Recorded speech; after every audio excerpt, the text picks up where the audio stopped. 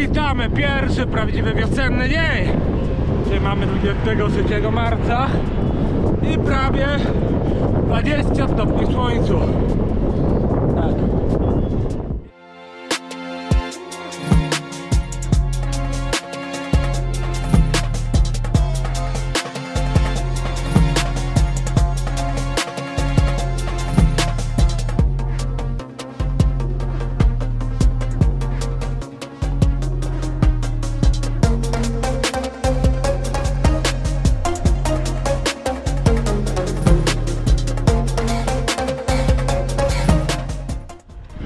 W końcu pojawił się nowy asfalcik na tracie Kostrzyn i Wno.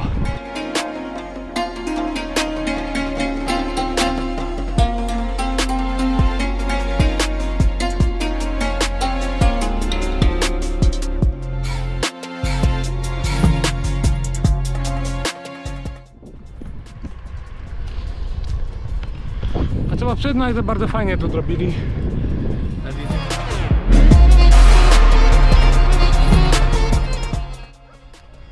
Tam widać właśnie mostek. No, a tam jest punkt widokowy.